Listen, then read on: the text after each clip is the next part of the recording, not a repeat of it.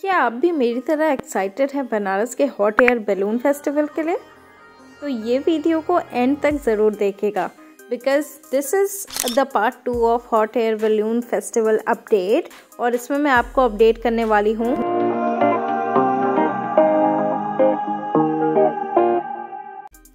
Guys welcome or welcome back to my channel love my life this is Kirti and this is another video for hot air balloon festival update in Varanasi so basically uh, first part में मैंने आपको बताया hot air balloon festival के बारे में जो बनारस में होने वाला है 17 से 20 के बीच में और मैंने आपको बताया जो भी अपडेट्स मुझे आएँगी वो मैं आपके साथ शेयर करती रहूँगी so here comes another update from hot air balloon festival जो कि बिल्कुल भी खुशी वाली बात नहीं है बिकॉज़ जहाँ तक मुझे सोर्सेज से पता चला है इस बार का बनारस का hot air balloon festival public के लिए नहीं है। तो साला ये दुख का खत्म नहीं होता बे।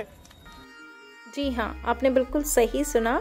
जहाँ तक मैं आप लोगों के लिए टिकट्स की अपडेट लाने की कोशिश कर रही थी तब मुझे पता चला कि इस बार शायद पब्लिक को मौका नहीं मिलेगा हॉट एयर बैलून फेस्टिवल में पार्टिसिपेट करने का। जनता माफ़ नहीं करेगी। सो आई नो मुझे ये बताते हुए बहुत ही बुरा लग रहा है बट अभी तक की यही अपडेट है क्योंकि मुझे काफ़ी सारे डीएम्स आ रहे थे कि टिकट्स कहाँ से मिलेगी और मुझे कमेंट में भी आप लोगों ने पूछा था। तो मैंने सोचा कि क्यों ना आप लोगों को अपडेट कर दिया जाए कि मे बी इस बार हमें सिर्फ़ दर्शक बनना है पार्टिसिपेट नहीं करना है। गजब बेचती है। बट आई रियली विश कि हमें भी ये मौका मिले। अगर कोई भी फर्दर अपडेट मुझे पता चलती है तो आई कीप यू पोस्टेड वैसे तो मैं बहुत एक्साइटेड थी इस फेस्टिवल के लिए पर जब से मुझे ये न्यूज़ पता चली है, तब से आई एम वेरी डिसहार्टन तो लेट्स सी आगे क्या होता है। खत्म। Bye bye tata good bye गया।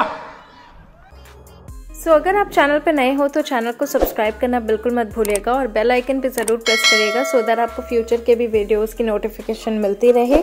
जिससे एटलीस्ट अगर हॉट एयर बलून फेस्टिवल की कोई नई अपडेट आती है तो मैं आप लोगों तक पहुँचाती रहूँगी। Thank you so much for watching and also you next time bye bye